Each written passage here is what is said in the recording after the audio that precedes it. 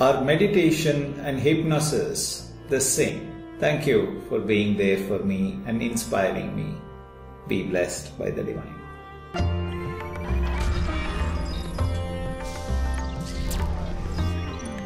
Meditation is focusing your mind on your own life force Kundalini Shakti.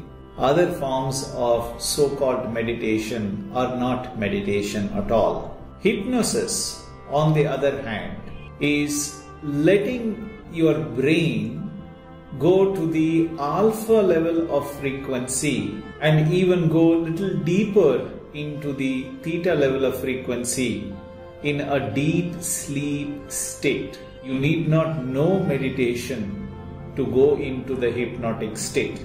Hypnosis can be stimulated by an external source such as music or any sort of mantra or even suggestion by someone else, such as an hypnotist or a psychologist or a counselor or a hypnotherapist, and so on and so forth. When your brain goes to that subtle frequency, either through external stimulation or through internal volition, your own mind, you can also do self hypnosis. You can sit down and say, relax your body, relax your mind, and go into that subtle, relaxed state of the mind, and you will go into an hypnotic state.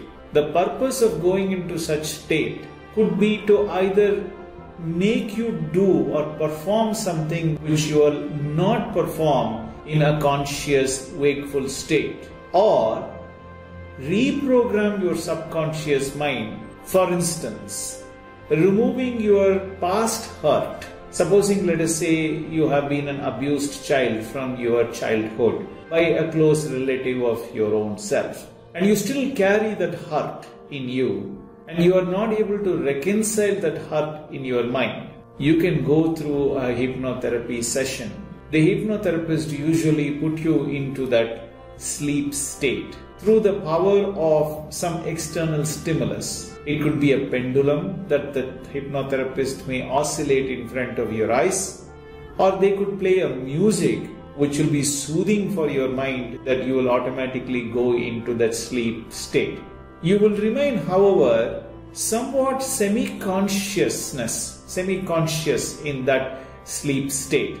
So you will be open to suggestions from the therapist. For instance, the therapist might ask you to look into yourself and start to correlate your hurt with a karma that you have inherited from your past life. What the person is trying to tell you is don't get scared by going through those same experiences and recalling and living those moments again. Just separate them from yourself. Imagine those experiences are ones that happened in your previous birth. By hmm. giving you such a powerful imagination, the hypnotherapist is making you separate yourself from your heart. So you begin to actually rationalize it by saying that look, this is not just what happened to me this birth, but happened in the last birth. And you know, by just creating an imaginary situation like that, you begin to gain confidence. It's a very beautiful therapy system, and it's a, a, a not properly scientifically explained by the hypnotherapist or any other counselor, but this is the actual essence. The essence is auto suggestion. The power of auto suggestion helps you to reconcile the past hurt in your mind come to terms with these past hurts and start to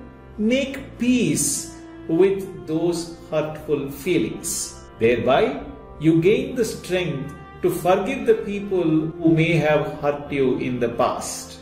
This is not meditation. Meditation is focusing your mind on your own life force, going to the alpha level of frequency by feeling the pressure sensation of your life force in between the Ajna chakra and later at the Duriya Sahasrara crown chakra. By focusing over your own life force pulsation, your brain will go to the alpha frequency between 8 and 13 cycles per second. And in that alpha frequency, you begin to experience a self hypnotic state. But you begin to gain the power through this process of meditation to come to terms with your past and your hurt. And therefore, you gain the power of superimposition, which will help you to sublimate your past hurts and expiate and eliminate your hurt from your genetic center so that your journey of consciousness towards self realization and perfection begins for you in a smooth and peaceful manner. Thank you for being there and continuing to inspire me to make these videos on a regular basis. Be blessed by the divine.